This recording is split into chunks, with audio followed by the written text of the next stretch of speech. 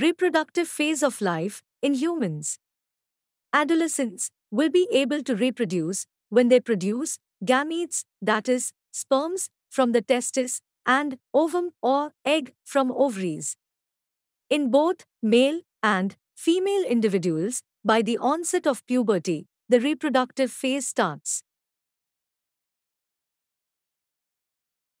The reproductive phase in females begins at puberty, that is, 10 to 12 years of age, and lasts till the age of 45 to 50 years.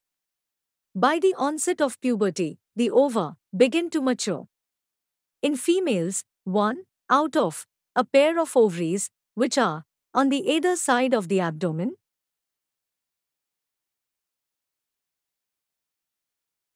releases one ovum once in about 28 to 30 days. During this period, the uterus becomes thick so as to receive the egg. If the egg is fertilized, it begins to develop and results in pregnancy. In the absence of fertilization, the egg, which is released, thickened lining of the uterus along with its blood vessels shed off.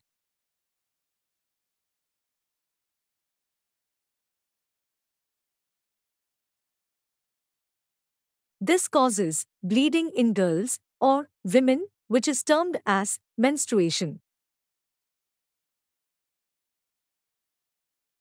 Menstruation is a cyclic process which occurs once in about 28 to 30 days. At the puberty, the first menstrual flow begins in girls and it is termed as menarche. The menstrual cycle continues until the age of 45 to 50 years of age in women, and then the cycle stops, which is termed as menopause.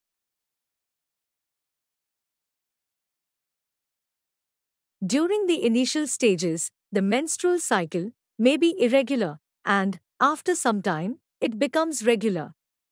Stages of a menstrual cycle includes maturation of egg, release of egg, thickening of uterine wall, and breakdown of uterine wall. Menstrual cycle is controlled by hormones in the female body.